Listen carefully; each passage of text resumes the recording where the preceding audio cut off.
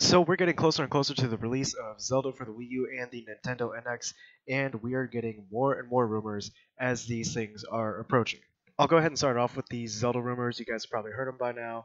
One, it's going to come to both the Wii U and the Nintendo NX. Two, you're going to be able to choose between a male and female protagonist. And three, that the game is going to be voice acted for the most part, except for Link.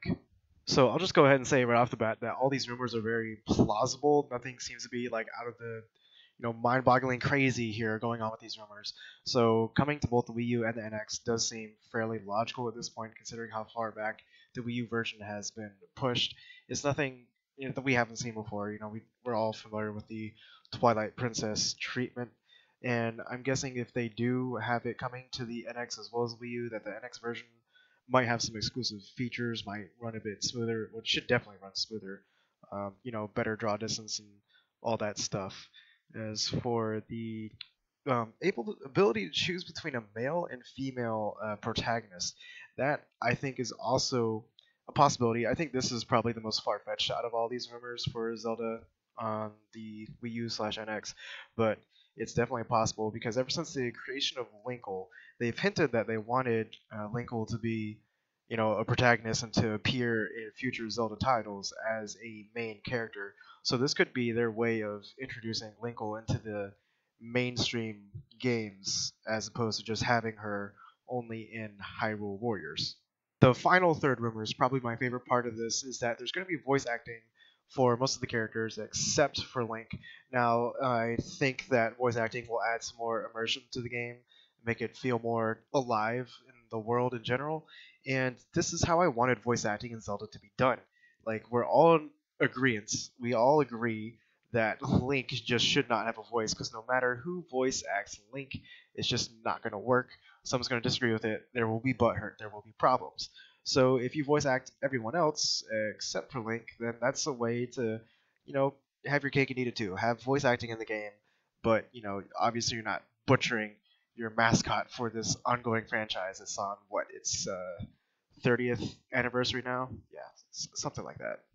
So moving on to the NX rumors, there's quite a few here, so bear with me. So uh, it's going to be these are all rumors again, nothing's a fact. So 86 architecture, that would make sense, seeing as how everything else runs 86 architecture right now.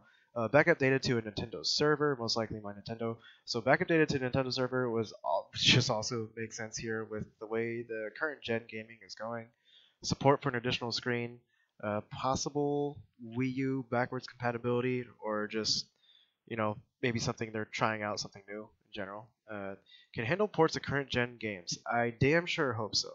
That better be true uh, will interact with smart device apps. Uh, after seeing the launch of Miitomo and how Nintendo's kind of dabbling with the smart device area, uh, it's this one seems likely. It doesn't seem too far fetched. Uh, and using NX software will unlock my Nintendo reward points. That one uh, just seems like a no-brainer at this point. Again, with the launch of Miitomo, I've been playing that uh, a decent amount lately. Got like 84 friends on Miitomo. It's ridiculous. Okay, and here's a whole other page of rumors I have here. The retail name for the NX is unknown. Blah blah blah. The one third-party developer. Okay, let me just skip to some other like actual stuff. Amiibo are still supported.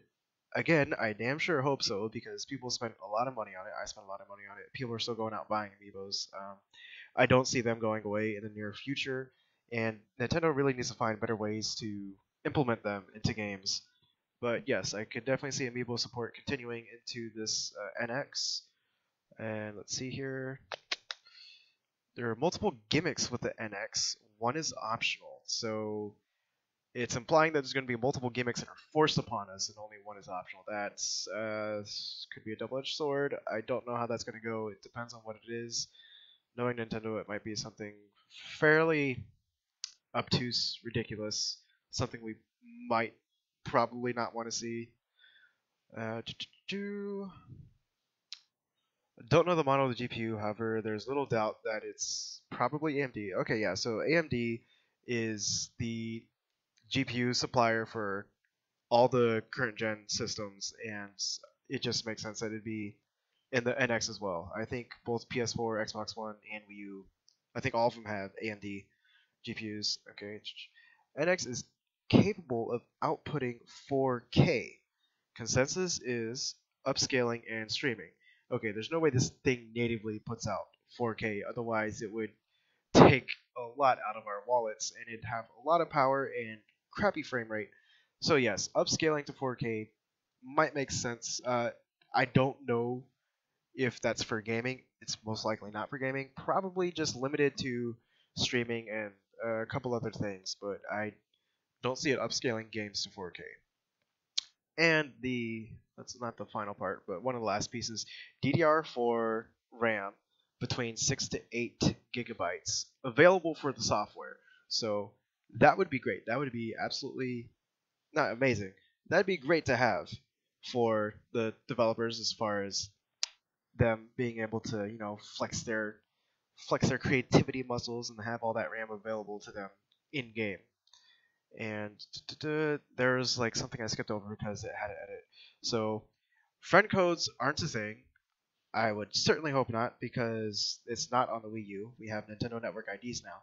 But it says you're not going to be able to add people that you don't know, or you can only add people that you know. So this, I'm guessing, is kind of an integration with like either Miitomo, Facebook, Twitter, whatever social media, and it's going to do kind of what Miitomo does. You can only add people that are mutual followers with you on Twitter or friends with you on Facebook or some social media platform like that. And again, uh, I keep pointing back to Miitomo, but I think Miitomo is kind of like like us peeking into the window of what Nintendo plans to do in with some of their future devices. So uh, go get Miitomo if you haven't already. Play around with it for a bit, and it might give you some insight as to Nintendo's current mentality or like where they're going to go in the future. So I think that's it for this video. These rumors are looking promising. Again, they're all just rumors. Take it for what it is. And, you know, uh, I'm not going to do my regular outro today. I'll see you guys later.